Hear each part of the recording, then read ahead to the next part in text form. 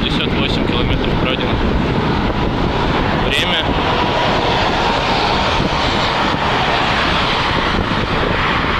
2.10 пути. А время уже полчетвертого.